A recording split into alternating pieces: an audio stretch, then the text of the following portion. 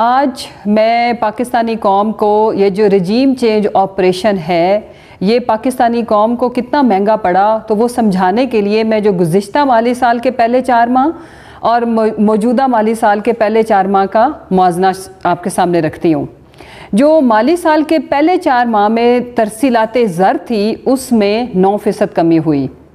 और जो महँगाई की शरह है, वो इस वक्त पाकिस्तान की बुलंद तरीन सतह के ऊपर है और मुल्क में इस वक्त महँगाई जो है, वो 25 फ़ीसद तक बढ़ चुकी है।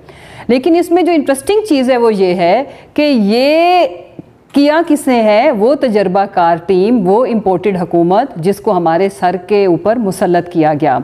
अब बात कर लेते हैं लार्ज स्केल मैन्युफैक्चरिंग की। इसमें भी मनफी ग्रोथ देखी गई है। अगर हम जीडीपी ग्रोथ की बात करें, उसमें भी जो रेट है वो तकरीबन दो शरिया छः फ़ीसद उसमें कमी है। टैक्स इकट्ठा करने में ये इतने निकम्मे साबित हुए हैं कि 16 फ़ीसद कमी और ये रिकॉर्ड कमी है। क्यों?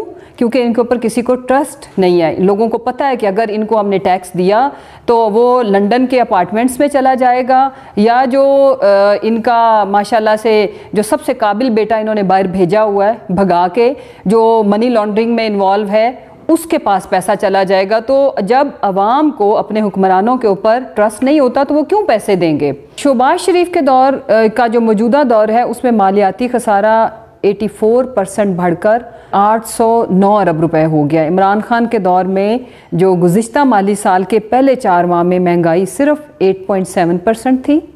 लार्ज स्केल मैन्युफैक्चरिंग की जो ग्रोथ थी, वो दस